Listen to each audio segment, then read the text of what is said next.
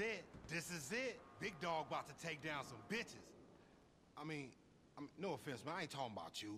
I ain't talking about you. That's, that's a fucked up metaphor, man. Come on in here, man.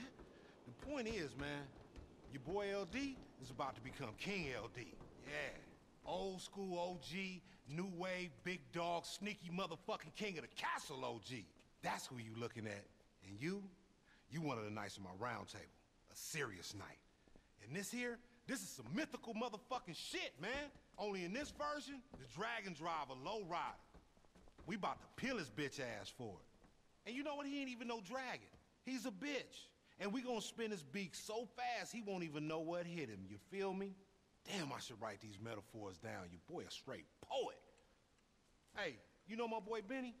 That's my boy Benny, man. He does the best work. Benny, what's happening, pimp? That boy go hard.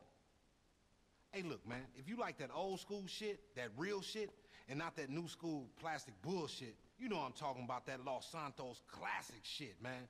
The most beautiful work you've ever seen, then that's why he like me. Cause I'm just like that. Classical, beautiful, and imperial as a motherfucker. Man, I'm kind of lyrical, dude. Like Caesar, a writer and a fighter.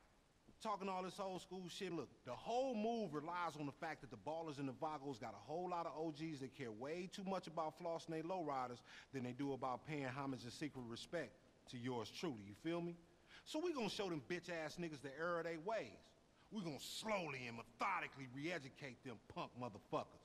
I mean, who don't love a lowrider? We all love lowriders, but uh, personally, I love me more. So with that being said, we gonna confuse the fuck out they ass. And assuming that you're confused right now might mean we on the right track. You confused?